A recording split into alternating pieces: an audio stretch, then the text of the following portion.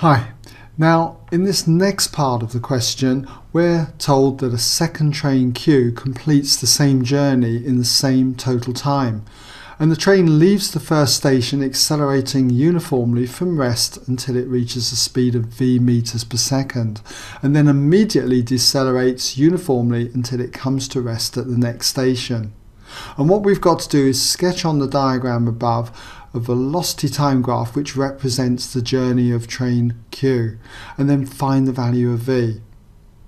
So what's going to happen is that for Q it's going to start at rest here, accelerates uniformly so it's going to be a straight line going upwards and then immediately decelerates back to the point here where it's become stationary again.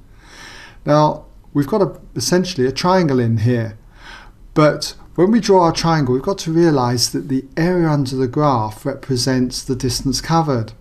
And both trains are going to cover exactly the same distance, so the areas must be the same.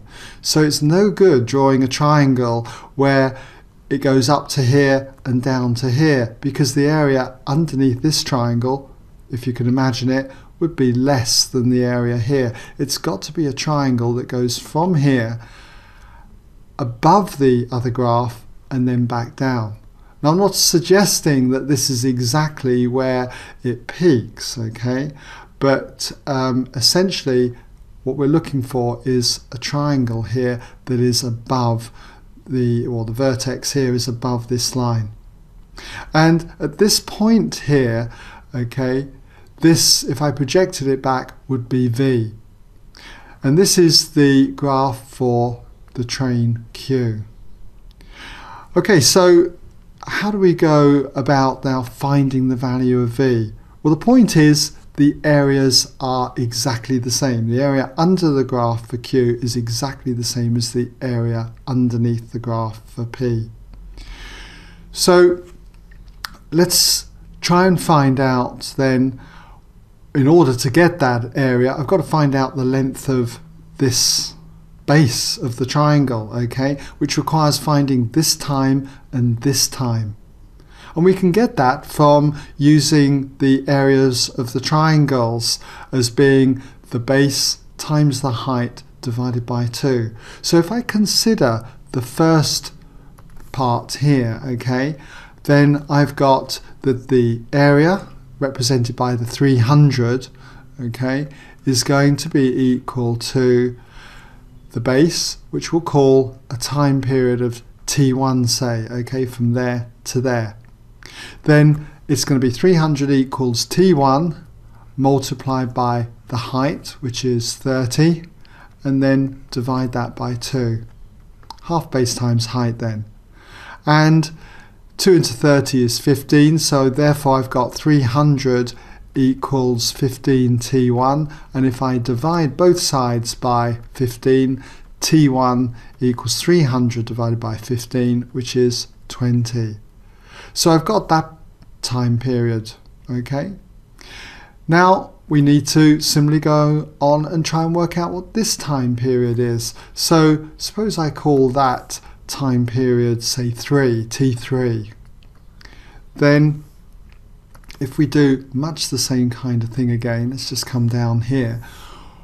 What we've got is that the area of this triangle, 360, okay, equals the base, T3, times the height, height being 30, and divided by 2. Again, area of triangle, half base times height.